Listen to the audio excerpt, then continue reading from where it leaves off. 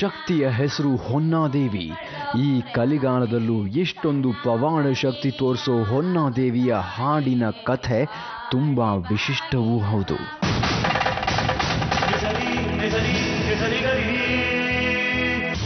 ಈಗ ದೈವತ್ವಕ್ಕೇರಿರೋ ಹೊನ್ನಾದೇವಿ ಒಂದು ಕಾಲದಲ್ಲಿ ಮಾಮೂಲು ಮನುಷ್ಯ ಜನ್ಮದಲ್ಲೇ ಹುಟ್ಟುತ್ತಾಳೆ. ಆಗ ವಸಂತರಾಯ ಅನ್ನೋ ರೈತನ ಪತ್ನಿಯಾಗಿದ್ದು ಒಂದು ಮಗುವಿನ ತಾಯಿಯೂ ಆಗಿರ್ತಾಳೆ. ವಸಂತರಾಯ ಒಂದು ದಿವಸ ತನ್ನ ನೇಗಲನ್ನು ಹೊತ್ತುಕೊಂಡು ಹೊಲದಲ್ಲಿ ಉಳುಮೆ ಮಾಡಲಿಕ್ಕೆ ಹೋಗಿರ್ತಾನೆ. ಈ ಗಂಗಾಧರ ಸ್ವಾಮಿ ಶಿವಗಂಗೆಗೆ ಪ್ರವೇಶ ಮಾಡುವ ಸಂದರ್ಭದಲ್ಲಿ ಒಳಗಡೆಗೆ ಕಾವಲುಗಾರರು ಆತನನ್ನು ಬಿಡೋದಿಲ್ಲ. ಆ ಸಂದರ್ಭದಲ್ಲಿ ನಾಯಿ ರೂಪದಲ್ಲಿ ಒಳಗಡೆ ಪ್ರವೇಶ ಮಾಡ್ತಾನೆ. ಅಲ್ಲಿ ಮನೆ ಮನೆಗೆ ಹೋಗುವಂಥ ಸಂದರ್ಭದಲ್ಲಿ, ಹೊನಾದೇವಿ ಮನೆಗೂ ಭಿಕ್ಷಕ್ಕೆ ಹೋಗುವಂಥ ಸಂದರ್ಭದಲ್ಲಿ ಹೊನಾದೇವಿ ತುಂಬ ಸುರದ್ರೂಪಿಯಾಗಿ ಕಂಡಾಗ ಅವಳನ್ನು ಅವಳನ್ನು ಮೋಹಗೊಂಡು ಅವಳಿಂದ ಭಿಕ್ಷೆ ನೀಡಿಸ್ಕೋಬೇಕು ಅಂತ ಹೇಳಿ ಪ್ರಾ ಮಾಡ್ತಾನೆ. ಅತ್ಯಂತ ರೂಪವತಿಯಾಗಿದ್ದ ಹೊನ್ನಾದೇವಿಯನ್ನ ನೋಡಿ ಮೋಹಗೊಂಡ ಗಂಗಾಧರೇಶ್ವರ ತನ್ನ ಶಕ್ತಿಯಿಂದ ಅವಳು ಮರುಳಾಗುವ ಹಾಗೆ ಮಾಡ್ತಾನೆ. ವಾಸ್ತವ ಪ್ರಜ್ಞೆ ಕಳ್ಕೊಂಡ ಹೊನ್ನಾದೇವಿ ಗಂಗಾಧರೇಶ್ವರನ ಹಿಂದೆ ಹೋಗ್ತಾಳೆ. ಗಂಡ ವಸಂತರಾಯ ಮನೆಗೆ ಬಂದು ನೋಡಿದಾಗ ಹೆಂಡತಿ ಇರೋದಿಲ್ಲ. ಒಬ್ಬ ಜೋಗಿಯ ಹಿಂದೆ ಹೋಗಿದ್ದಾಳೆ ಅನ್ನೋ ವಿಷಯ ಗೊತ್ತಾಗತ್ತೆ.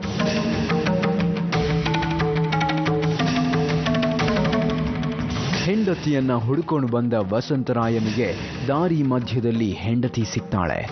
ಅವಳನ್ನು ಮನೆಗೆ ಬರೋ ಹಾಗೆ ಕೇಳ್ಕೊತಾನೆ. ಆದರೆ ಗಂಗಾಧರೇಶ್ವರನ ಮೋಡಿಗೆ ಬಲಿಯಾಗಿದ್ದ ಹೊನ್ನಾದೇವಿ ಬರೋದಿಲ್ಲ ಅಂತಾಳೆ. ಆಗ ವಸಂತರಾಯನಿಗೆ ಕೋಪ ಬರುತ್ತೆ. ಹಸುಗೂಸನ್ನ ಬಿಟ್ಟು ಬಂದವಳಿಗೆ ತಕ್ಕ ಬುದ್ಧಿ ಕಲಿಸಬೇಕು ಅಂತ ನಿರ್ಧಾರ ಮಾಡ್ತಾನೆ.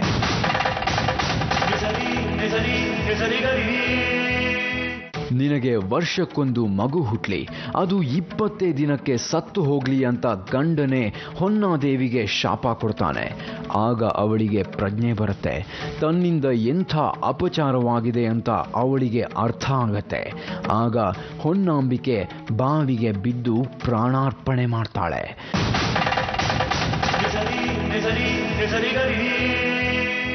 ಆಗಲೇ ಹೊನ್ನಾದೇವಿಗೆ ಗಂಗಾಧರೇಶ್ವರನಿಂದ ದೈವಾನುಗ್ರಹವಾಗತ್ತೆ. ಮಾಡದ ತಪ್ಪಿಗೆ ಪ್ರಾಣ ಕೊಟ್ಟ ಹೊನ್ನಾದೇವಿಗೆ ತಪ್ಪು ಮಾಡಿದವರನ್ನ ಶಿಕ್ಷಿಸಿ, ಒಳ್ಳೆ ಜನಗಳನ್ನ ರಕ್ಷಿಸೋ ಶಕ್ತಿ ಕೊಡ್ತಾನೆ. ಆ ನಂತರನೇ ಹೊನ್ನಾದೇವಿ ಒಂದು ಅದ್ಭುತ ಶಕ್ತಿಯಾಗಿ ಈ ಜಾಗದಲ್ಲಿ ನೆಲೆ ನಿಂತಿದ್ದು.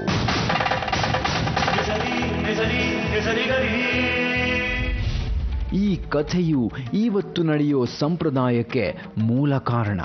ಇಲ್ಲಿ ವರ್ಷಕ್ಕೊಂದ್ಸಲ ಕಂಬ ನೆಡೋದು ಅಂದರೆ ಹೊನ್ನಾದೇವಿಗೆ ಮಗು ಹುಟ್ಟುವ ಸಂಕೇತ. ಇದು ಹೊನ್ನಾದೇವಿಗೆ ಅವಳ ಗಂಡ ಕೊಟ್ಟ ಶಾಪದ ಸಂಪ್ರದಾಯ. ಇಪ್ಪತ್ತು ದಿನಗಳಲ್ಲಿ ಜಾತ್ರೆ ಮುಗಿದು ಕಂಬ ಕಿತ್ತಾಗ ಮಗು ಸತ್ತು ಹೋಗುತ್ತೆ ಅನ್ನೋದು ಪದ್ಧತಿ.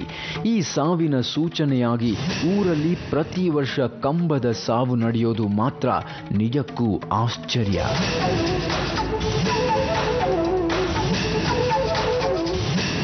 ದೇವಿಗೆ ಫಲಾಹಾರ ಮತ್ತು ಸೀರೆಯೇ ಮುಖ್ಯವಾದ ಹರಕೆ. ನಿಮಗೆ ಆಶ್ಚರ್ಯ ಆಗ್ಬೋದು. ಇಲ್ಲಿಗೆ ಹರಕೆಯಾಗಿ ವರ್ಷಕ್ಕೆ ಸುಮಾರು ಎರಡು ಲಾರಿ ತುಂಬುವಷ್ಟು ಸೀರೆಗಳು ಬರ್ತಾವೆ. ಇದಕ್ಕೆ ಸಂಬಂಧಿಸಿದ ಹಾಗೆ ಒಂದು ಅಚ್ಚರಿಯ ಪದ್ಧತಿ ಇಲ್ಲಿದೆ ಹೊನ್ನಾದೇವಿ ಭಕ್ತರು ಕಷ್ಟ ಕಾರ್ಪಣ್ಯಗಳಲ್ಲಿ ಕೊಟ್ಟಂಥ ಸೀರೆಯನ್ನು ದೇವರಿಗೆ ಉಡಿಸ್ಬಿಟ್ಟು ಆ ಸಂತೋಷ ಪೂಜೆ ಮಾಡಿಸ್ಕೊಂಡು ಫಲಹಾರ ರಸಾಯನ ಪಂಚಫಲಹಾರ ಈ ರೀತಿ ಮಾಡ್ಕೊಂಡು ಹೋಗ್ತಾರೆ. ಈ ಸೀರೆ ವರ್ಷಕ್ಕೆ ನಮ್ಮ ದೇವತೆಗೆ ಸೀರೆನೇ ಶ್ರೇಷ್ಠವಾದ್ದು. ಎಲ್ಲ ವಜ್ಜೆ ಒಡೆಯರು ಬೇರೆ ದೇವರು ಕೊಟ್ಟರು ಕೂಡ ಸೀರೆ ತುಂಬ ವರ್ಷಕ್ಕೆ ಎರಡು ಲಾರಿಯಷ್ಟು ಸೀರೆ ಬರ್ತವೆ. ಇದನ್ನು ಯಾರೂ ಕೂಡ ಅರ್ಚಕರ ಆದಿಯಾಗಿ ಯಾರೂ ಕೂಡ ಇದನ್ನು ಮುಟ್ಟೋಂಗಿಲ್ಲ, ಉಪಯೋಗಿಸೋಂಗಿಲ್ಲ. ಇದೇ ನೋಡಿ ಇಲ್ಲಿನ ಆಶ್ಚರ್ಯ. ಸಾವಿರಾರು ಸೀರೆಗಳು ಬಂದಿರ್ತಾವೆ. ಹೊನ್ನಾದೇವಿಗೆ ಅರ್ಪಿಸಿದ ನಂತರ ಇದನ್ನು ಯಾರೂ ಬಳಸೋ ಹಾಗಿಲ್ಲ. ಇವುಗಳನ್ನು ಕೆರೆಗೋ ಬಾವಿಗೋ ಹಾಕೋದೊಂದೇ ದಾರಿ. ಅನೇಕ ಸಂದರ್ಭದಲ್ಲಿ ಅಧಿಕಾರಿಗಳು ಇಷ್ಟೊಂದು ಸೀರೆ ವೇಸ್ಟ್ ಆಗುತ್ತೆ ಅಂತ ಪ್ರಯತ್ನಪಟ್ಟು ವಿಫಲರಾಗಿ ಅವ್ರ ತಂದೆ ಅನುಭವಿಸಿ ಬ್ಯಾಡಿ ಈ ರೀತಿ ನಡ್ಕೊಂಡು ಹೋಗ್ಲಿ ಅಂತ ಸಂಪ್ರದಾಯವನ್ನು ಬಿಟ್ಬಿಟ್ಟಿದ್ದಾರೆ.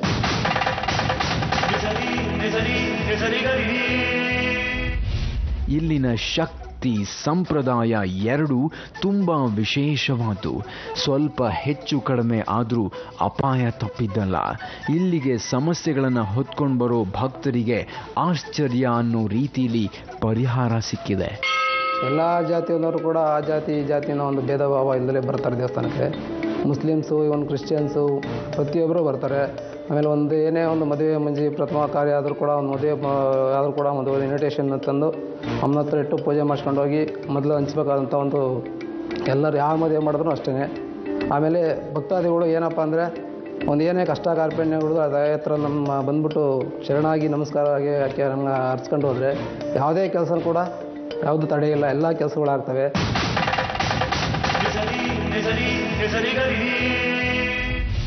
ನನಗೆ ಬೆಂಗಳೂರಲ್ಲಿ ಅಪಾಯಿಂಟ್ ಆಯಿತು. ಬಿರ್ಲಾ ಮ್ಯಾನೇಜ್ಮೆಂಟ್ ಇದ್ದಾಗ ಬೆಂಗಳೂರಿಗೆ ಟ್ರಾನ್ಸ್ಫರ್ ಮಾಡಿ ಬೆಂಗಳೂರಿಗೆ ಇದು ಮಾಡಿಕೊಟ್ಟಿದ್ರು. ಈಗ ಲಾಸ್ ಆದ ಕಂಪ್ನಿ ಜರ್ಮನಿಯವರು ಟೇಕ್ ಓವರ್ ತೊಗೊಂಡ್ರು. ಏನಾಯ್ತು ಅಂದ್ರೆ ಹಂಸನ ಯೂನಿಟ್ನವ್ರು ಏನಿದ್ದಾರೆ ಹಂಸನ ಹೋಗ್ಬಿಡಿ ಅಂತೇಳಿ ಎಂ ಡಿ ಅವರು ಡಿಸಿಷನ್ ತೊಗೊಂಡ್ರು, ಹೊಸ ಎಂ ಡಿ ಅವರು.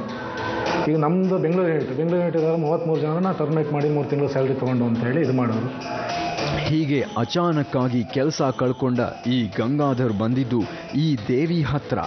ಇಲ್ಲಿಗೆ ಬಂದು ಹರಕೆ ಕಟ್ಕೊಂಡ ಒಂದೇ ವಾರದಲ್ಲಿ ಕಳ್ಕೊಂಡ ಕೆಲಸ ಮತ್ತೆ ಸಿಕ್ಕಿತು ಸಾಮಾನ್ಯರಷ್ಟೇ ಅಲ್ಲ, ದೇಶದಲ್ಲೇ ಹೆಸರಾದ ಉದ್ಯಮಿ ಬಿರ್ಲಾ ಕೂಡ ಈ ದೇವಿಯ ಹತ್ರ ಬಂದು ಹರಕೆ ಮಾಡ್ಕೊಂಡಿದ್ದಾನೆ.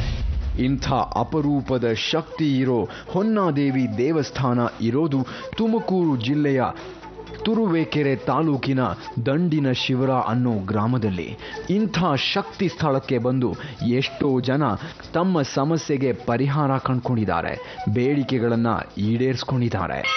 ಈ ದುರಭ್ಯಾಸದ ಬಗ್ಗೆ ಆಗಲಿ, ಕುಡ್ತಾ ಚಟಗಳನ್ನಾಗಲಿ ಏನಾದರೂ ನಾವು ಬಿಡಬೇಕು ಅನ್ನೋ ಉದ್ದೇಶ ಇದ್ದರು ಆ ದೇವಸ್ಥಾನದ ಅಮ್ಮನ ಹತ್ರ ಬಂದು ಕರ್ಪೂರ ಹಚ್ಚಿ, ಅಮ್ಮ, ನೋಡಮ್ಮ ಇವತ್ತಿನ ಯಾವುದೇ ಚಟ ಕುಡ್ತಾ ಚಟಗಳನ್ನ ನಾನು ಮಾಡೋದಿಲ್ಲ ಅಂತ ಹೇಳಿ ಕರ್ಪೂರ ಹಚ್ಚಿಬಿಟ್ಟು ನಮಸ್ಕಾರ ಮಾಡಿ ಅವತ್ತಿಂದ ಏನು ಮಾಡಿದ್ರೆ ಅವರಿಂದ ತಿಳಿಯೋದು ತೊಂದ ಇದನ್ನು ಅವರು ಉಪಯೋಗ ಮಾತ್ರ ಅವ್ರಿಗೆ ತೊಂದರೆ ತಪ್ಪಿದ್ದಲ್ಲ. ಯಾವುದೇ ಕಾರಣಕ್ಕೂ ಆ ತೊಂದರೆ ಆದೇ ಆಗುತ್ತೆ. ಅದು ಸಾಕಷ್ಟು ಉದಾಹರಣೆಗಳು ಇದ್ದಾವೆ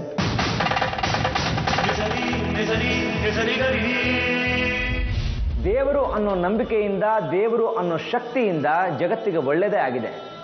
ಆ ನಂಬಿಕೆ ಹಾಳಾದಷ್ಟು ಅಪಾಯ ಜಾಸ್ತಿ. ಯಾವುದೋ ಒಂದು ನಿಗೂಢ ಶಕ್ತಿಯ ಭಯ ಮನುಷ್ಯನನ್ನ ಸರಿದಾರಿಯಲ್ಲಿ ನಡೆಸುತ್ತೆ ಅನ್ನೋದು ಸುಳ್ಳಲ್ಲ. ಈಗ ನಾವು ನಿಮಗೆ ತೋರ್ಸೋಕೆ ಹೊರಟಿದ್ದೀವಿ ಮತ್ತೊಂದು ಅಪರೂಪದ ಕಥೆ.